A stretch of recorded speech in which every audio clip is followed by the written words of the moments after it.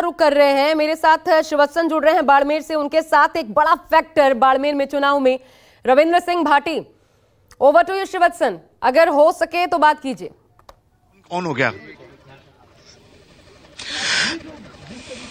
जी, बिल्कुल, देखिए, मैं आपकी रविंदर सिंह भाटी से भी बात कराता हूँ। ये वो बूथ है जहाँ पर रविंदर सिंह भाटी बात यहाँ पर वोट डालने आए हैं। बाड़मेर सबसे ज़्यादा हॉट इस वक्त माना जा रहा है। और रविंदर सिंह भाटी यहाँ पर अभी मेरे साथ हैं अभी फ़ोन पर बातचीत कर रहे हैं। लेकिन यह चुनाव इनके लिए भी पूरे बाड़मेर के लिए और पूरे राजस्थान के लिए काफ़ी मायने रखता है। विधायक से सांसद की दौड़ की आप तैयारी कर रहे हैं। विधायक तो बन चुके हैं। बहुत ज़्यादा जल्दीबाजी स्पीड नहीं है सर ये। जनता का आदेश है और जनता के आदेश की पालना रविंद्र कर रहा है और विश्वास के साथ कह सकता हूँ की जनता मुझ पर विश्वास जताएगी आने वाले समय में इस क्षेत्र के लिए रात और दिन एक करेंगे। आपको पता है कि आपके इलाके में आपको हराने के लिए एक निर्दलीय उम्मीदवार को हराने के लिए प्रधानमंत्री से लेकर पूरे की पूरी बीजेपी की कांग्रेस की जो स्टार प्रचारक थे वो सबको लोग आ चुके हैं। कहीं दिल में कुछ डर बिल्कुल भी नहीं। मुझे जनता पे विश्वास है साहब। स्टार प्रचारक जनता को पता है कि साहब ये स्टार प्रचारक वो आज के दिन तक 26 तारीख तक ही हैं। सत्ताईस के बाद कल से आपको कोई स्टार प्रचारक यहाँ नहीं दिखेगा। तो जनता समझ चुकी है उनको पता है कि हमारा बेटा हमारा भाई रविंद्र इस बार चुनाव लड़ रहा है रविंद्र पे विश्वास जताना और ये जनता तय कर चुके हैं आने वाले समय में देखेंगे। सोशल मीडिया पे देखा आपके चुनाव प्रचार में देखा इतनी सारी भीड़ इतने सारे लोग युवाओं की फौज ऐसा क्या जादू चला दिया आपने? ये जनता का विश्वास है जनता का आशीर्वाद है।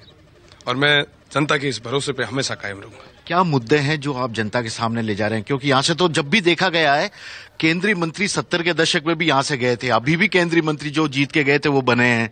आपका क्या मुद्दा होगा? मैं बताना चाहूँगा कि आज़ादी से लेकर अभी तक जो तमाम सुविधाएँ यहाँ तक नहीं पहुँच पाई वो सुविधा पहुँचाने का काम रविंद्र करेगा।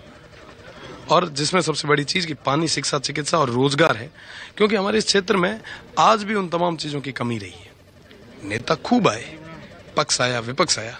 पर इन लोगों की आवाज़ को देश की सबसे बड़ी पंचायत में किसी ने नहीं रखा।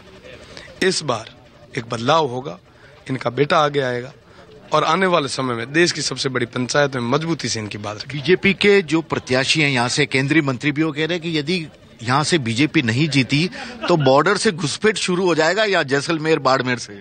आपको लगता है कि बॉर्डर बॉर्डर से घुसपैठ शुरू हो जाएगी? बीएसएफ को आप कमज़ोर कर रहे हैं। आपके कहने का मतलब ये है कि आर्मी जो वहाँ बैठी है वो कमज़ोर है। हाँ, ऐसा कुछ नहीं होता।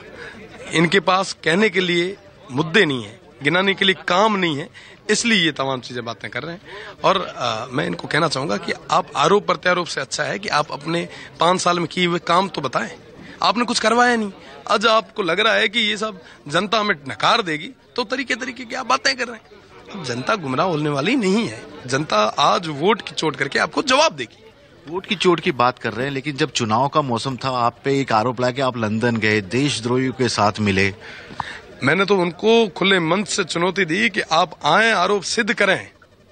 आप कह रहे हैं तरीके तरीके की बातें आप आए तो सही वो कभी आए नहीं। उन्हें कहा मैंने कि साहब अगर आप आरोप सिद्ध कर देते मैं राजनीति छोड़ दूँगा वरना आप तैयार रहना। उस दिन के बाद उन्होंने चूं किया हो तो आप बता दें। ये आरोप प्रत्यारोप ये जनता समझ चुकी साहब। ये नई चीज़ें नहीं है। ये इनके पुराने पैंथर थे उन्होंने फेंक के आजमा लिए हैं। और साहब आप किस पे आरोप लगा रहे हैं? साहब हम इस थार में बैठे हैं इस बॉर्डर पे बैठे हैं। जहाँ कहीं पे भी इस देश को ज़रूरत रही है हमने हमेशा सिर आगे दिए हैं। हमारे लोगों ने कुर्बानियाँ दी हैं बलिदान दिया है। आप किन पे लगा रहे हैं आरोप? हमेशा पाकिस्तान को रोकने के लिए अगर मजबूती के साथ सेना के साथ कोई खड़ा रहा तो हमारे ये तमाम लोग हैं। आप आरोप लगाने से पहले एक बार खुद के गिरबान में ज़रूर जाके देखें। एक एक सवाल है जो आपसे सब जानना चाहता है। आप तो एबीपी से जुड़े हुए बीजेपी से जुड़े हुए थे। छात्र संघ के चुनाव जब लड़े थे आपने एबीपी से टिकट मांगा था? नहीं दिया। शायद तिरपन साल के यूनिवर्सिटी के इतिहास में आप निर्दलीय जीत के पहले अध्यक्ष पहुँचे सत्तावन साल के इतिहास में। शिव से जो विधानसभा का टिकट मांगा वो भी नहीं दिया। फिर आप निर्दलीय लड़े फिर जीते।